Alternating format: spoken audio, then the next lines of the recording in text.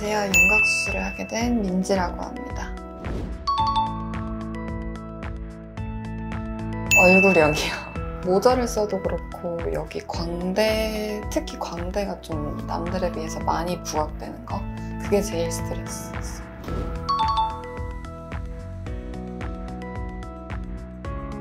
다이어트든 화장이든 뭐 머리든 다 해봤는데 이거는 시술이나 그런 걸로 되는 게 아니더라고요.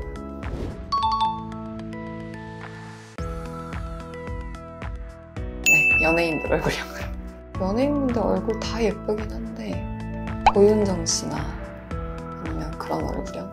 저는 좀 화려했으면 좋겠어요. 근데 대신에 뭐 다른 부작용 없이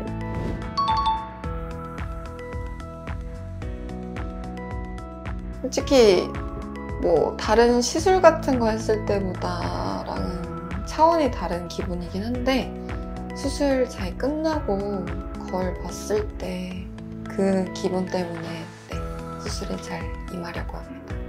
수술 잘 받고 돌아오겠습니다.